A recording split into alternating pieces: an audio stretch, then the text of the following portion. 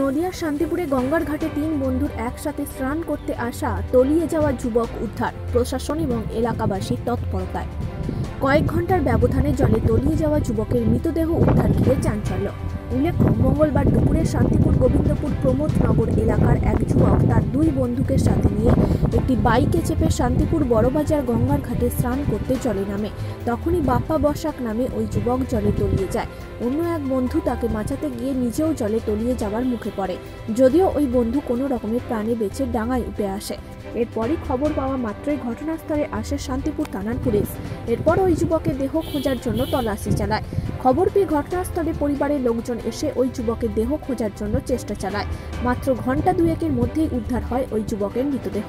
স্বভাবত এই ঘটনায় কান্নায় ভেঙে পড়ে ওই যুবকের পরিবার। এছাড়াও এলাকায় নেমে আসে শোকের ছায়া। মৃতদেহটি উদ্ধার করেছে শান্তিপুর থানার পুলিশ।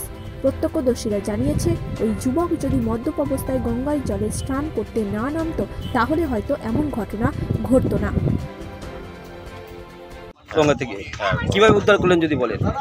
এখানে এসে শুনলাম যে একটা ছেলে বাইশ তেইশ বছর ছেলে ডুবে গঙ্গায় মারা গেছে। আমাদের খোঁজ করে ডেকে নিয়ে আসলো। আমরা এসে এনাদের সাথে কথাবার্তা বলে যে দেখেছিল তার সাথে কথাবার্তা বলে নামলাম নেমে দেখলাম ছেলেটা জলে বাঁশের খাঁচার সাথে আটকে আটকে আছে।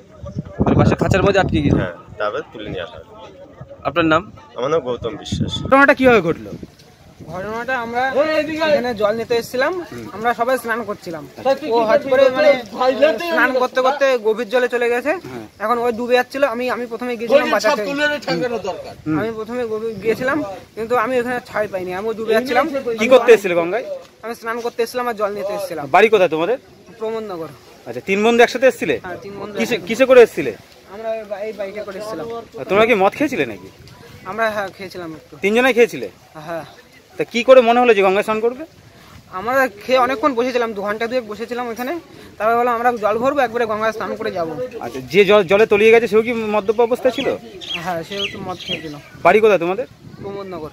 তিনজনেরই বাড়ি একই এলাকাতে? হ্যাঁ একই এলাকাতে। কি নাম হচ্ছে জল তলিয়ে গেছে? ওর নাম হচ্ছে বাপ্পা প্রসাদ। আচ্ছা বয়স কত হবে? চব্বিশ। পড়াশোনা করে? না। তো এখন কি পরিস্থিতি? এখন পরিস্থিতি এখন অনেকক্ষণ আগে জলে তলিয়ে গেছে এখন খোঁজ খবর পাওয়া যাচ্ছে না তুমি কি সাথে ছিলে? আমি সাথে ছিলাম কিন্তু আমিও বাঁচাতে পারিনি। আচ্ছা তুমি কি বাঁচাতে গিয়েছিলে তাকে? আর আমি বাঁচাতে গিয়েছিলাম আমিও ডুবে যাচ্ছিলাম। তা তুমি জল থেকে উঠেছো? আমি জল থেকে কোনো রকম উঠেছি। উঠে তাকে আর ধরতে পারিনি। বাড়ি কোথায়? প্রমোদনগর? হ্যাঁ ওইখানে আরও লোক ছিল সবাই। কত হবে ভেবেছে হয়তো মানে ইয়ং ছেলে হয়তো সাঁতার মাতার জানে। প্রথমে কেউ যায়নি। পরে যখন ডুবে গেছে তখন সবাই গিয়েছিল কিন্তু তাকে আর খুঁজে পাইনি। তোমার নাম? আমার নাম সুরজিৎ ভট্টাচার্য। চান করতে এসছে, চান করতে এসে তো ওই সাইডে নেমে তিনজনে একসঙ্গে চান করছিল। চান করতে করতে একজনে একটু সাঁতার গেছে, তারপরে সাঁতারে যাওয়ার পরে একজনে দেখছে যে ও ডুবে যাচ্ছে, ওকে ধরতে গিয়ে আর একজনে ডুবে যাচ্ছে। ডুবে যাওয়ার পরে তো একজনে উঠে ওঠার পরে একজনে ধরলো, ধরে নিয়ে তুলে নিয়ে এসছে, তুলে নিয়ে আসার পরে তো দেখছে আর একজনে নেই, খুঁজে পাচ্ছে না বলল ডুবে গিয়েছে। ভেসে যেতেও দেখেছে তো একজনে চান করতে ওরা কি সব নেশাগ্রস্ত ছিল বলে মনে হচ্ছে?